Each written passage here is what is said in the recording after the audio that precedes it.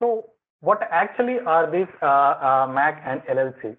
So when uh, when we talk about uh, this medium access control or uh, when we talk about the switched environment, we generally have this broadcast network uh, where in only one system has to send the data at a particular point of time or else uh, there will be a lot of collisions that will be happening on the uh, broadcast channel. So this uh, medium access control will actually define who can actually transmit at what point of time. Also, that kind of controls will be uh, defined according to the protocol of the uh, MAC.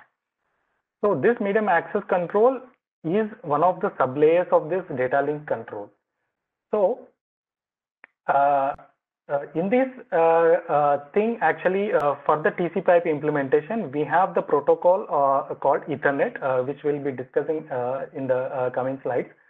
Whereas the higher link uh, uh, of this particular data link uh, is belongs to the LLC, it's called logical link control, where uh, the multiplexing of the protocols that are uh, transmitted by the medium access control and decoding them. Now, let's say there will be a transfer in and out uh, with respect to the physical layer or the medium access layer.